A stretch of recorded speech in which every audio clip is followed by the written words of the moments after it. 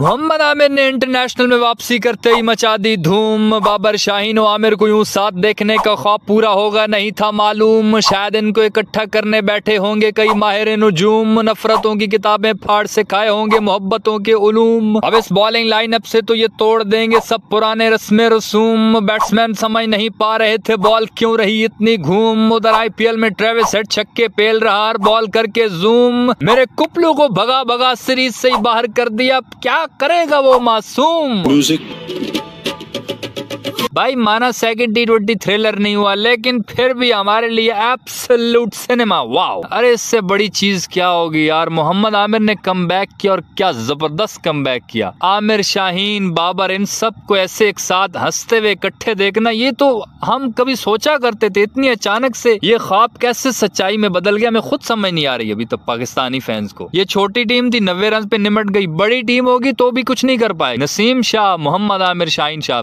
ऐसी bowling lineup के सामने सारी टीमें बढ़ जाएँगी। सच में यार, जब आमिर ओवर पे आया ना तो एक दफ़ा फुल वही फीलिंग आ रही थी 2017 की चैंपियंस ट्रॉफी वाली। ऐसा लग रहा था हम लोग फिर कोई ट्रॉफी जीतने वाले हैं। माशाल्लाह, इस मैच में हमारी टीम में वही लड़के थे कि बंदा अब किसी को ट्रोल भी नहीं कर सकता यार। ये तो सारी मेरिट वाले खिलाड़ी थे। उल्टा जो मेरिट पे आ रहे थे, उसको भी बाहर बैठना पड़ रहा है। माद वसीम, उसको खेलना चाहिए था, लेकिन बस कॉम्बिनेशन ट्राई कर रहे हैं। अब पहले कुछ लेजेंड्स होते थे टीम में, जिनकी वजह से सबको बातें करने का मौका मिल जा रहा था। अब वो लेजेंड ही नज़र नहीं आया यार। अब ये आमिर शाहीन, नसीम इतने अच्छे बॉलर आएँगे हमारी टीम में। ये हजम नहीं हो रहा यार, इतनी अच्छी बात हमसे। वो बेचारे न्यूजीलैंड के बैट्समैन भूतरे हुए थे कि यार हम इनमें से रोकें किसको मारेंगे इसको दो विकटें आमिर ले गया, तीन विकटें शाहीन ले गया। जो शाहीन ने यॉर्कर मारा ना, बोल्ड मारा, वो मज़ा ही आ गया उसका तो। नसीम शाह बॉलिंग बहुत अच्छी कर रहा था स्विंग हो रही थी आउट स्विंग इसकी भी, लेकिन आखिर पे जाके इसको भी विकेट एक मिल ही गई। न्यूजीलैंड वालों को यही था कि ये तीनों तो हिलने देंगे नहीं। एक ही तरीका है, इनके स्पिनर को अटैक करें। अबरार अहमद से पंगा लेने की कोशिश की, वो दो विकटें उड़ा गए लो शदाब खान को छेड़ने की कोशिश की, लेकिन वो भी दो विकेट ना भाई। अब वो वर्ल्ड कप 2023 वाला शदाब खान नहीं है, जिसको कोई भी आके पेल जाता है फुल टॉस है ना। भाई, अब वो पीएसएल की ट्रॉफी जीता हुआ है। अब तुम्हारे हाथ नहीं आने वाला। हड़ो वैसे एक चीज़ का मुझे बहुत ही दुख हुआ यार। हालाँकि पिंडी का स्टेडियम भी इतना फुल है। अवाम सारी देखने आई थी। और जब से मोहम्मद आमिर ने वापसी कर दी है, लोग पहले बाबर के फ़ैन थे। कुछ आमिर के फ़ैन थे जिन्होंने देखनी छोड़ दी थी क्रिकेट अब वो लोग भी क्रिकेट में आ रहे हैं वापस यार, नहीं, अब हमारी टीम बनने जा रही है। तो यार, जब इतनी अवाम मैच देखने वाली है, फिर क्या ज़रूरत है टॉस जीत कर उनको पहले बैटिंग देने की यार। इतना अच्छा बनने की क्या ज़रूरत है? अरे, खुद उन्होंने भेजे हैं भाई पिटने के लिए। आप खुद पहले बैटिंग पे आओ 200 बनाओ, फिर उनको दो, फिर उनको साठ सत्तर पे आउट कर दो बेशक। मज़ा तो तब आएगा ना। हमें तो पाकिस्तानी बैटिंग भी देखनी थी ना सारी, लेकिन दस ओवर देख के बस हमारे बैट्समैनों ने उतना मज़ा नहीं कराया, लेकिन फिर भी भाई दस ग्यारह ओवर में चेस तो कर गए थे। पहले बैटिंग हमारे लड़कों को करनी चाहिए, उसके बाद उनको जल्दी आउट करना चाहिए, ताकि वापसी जाकर वो कंप्लेन तो करें कि, सर, आप तो कहते थे वो पाकिस्तानी शरीफ लोग हैं, छोटी टीम है, उनकी कुछ नहीं बोलेंगे। सर उन्होंने तो पेल पेल हर चीज़ सोजा दी।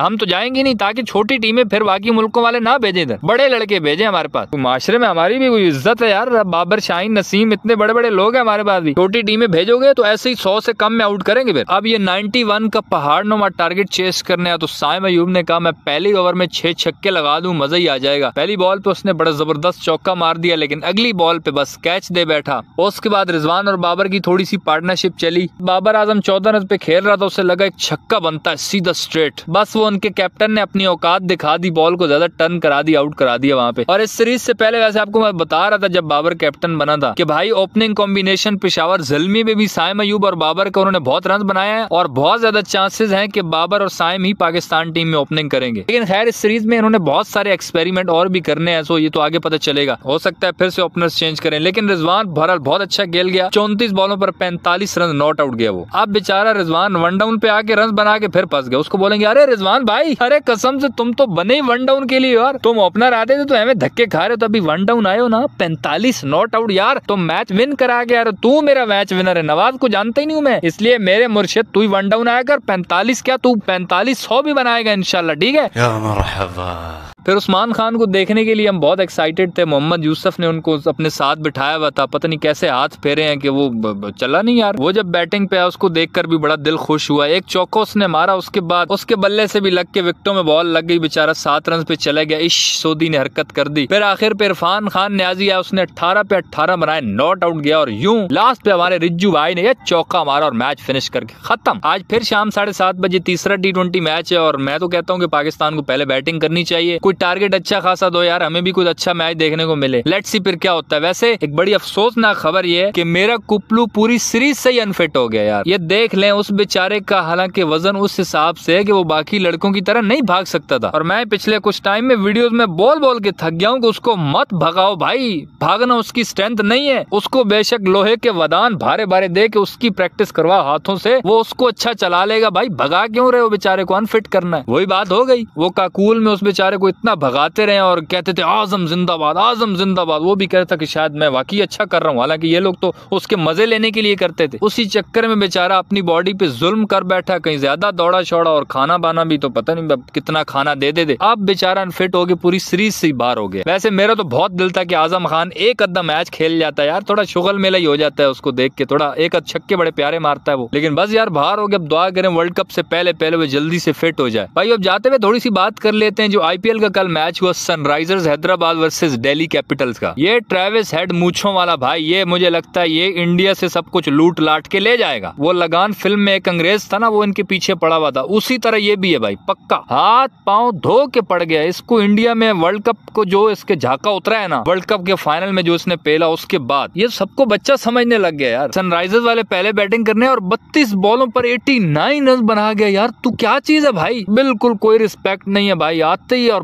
पेलो बस छक्के मारो। छह छक्के ये मार गया। इनकी तरफ़ से एक और अभिषेक शर्मा, नया लड़का, वो बहुत अच्छा खेलता है। बारह पे छियालीस रन वो मार गया। हमने तो सुना था कि हमारी पिंडी पिच बहुत बदनाम है रन बनने की वजह से। लेकिन रात को ये दो मैच हुए। पिंडी पिच में जो मैच हुआ, उसमें सिर्फ़ नब्बे रन बनाया अगलों ने। और जो इंडिया में मैच हो रहा, उसमें दो सौ छियासठ रन बन गए टी ट्वेंटी में। भाई ठीक है, पिच यहाँ से उखाड़ के तो नहीं ले गए थे। हमारी बेचारी पिंडी है पिंडी है पिंडी है। बदनाम है यार।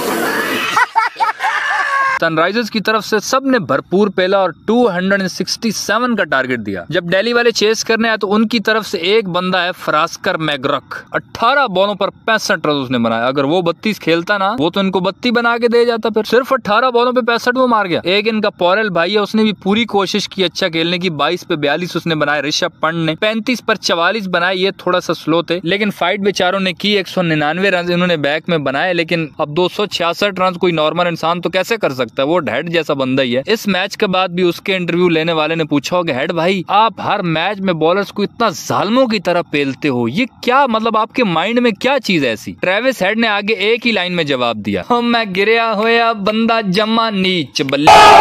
खैर यारो, अब हमारे अगले मैचेस में आपको क्या लगता है, बारिश भंड मारेगी या पूरा पैसा वसूल मैचेस होंगे? जो भी लगता है कमेंट्स में बताना वीडियो सही लगे तो लाइक कर देना और यूट्यूब चैनल छक्का मार को सब्सक्राइब करके साथ घंटी को टन करके ऑल पे क्लिक कर देना, ताकि क्रिकेट की दिलचस्प वीडियोस आप तक पहुँचती रहें।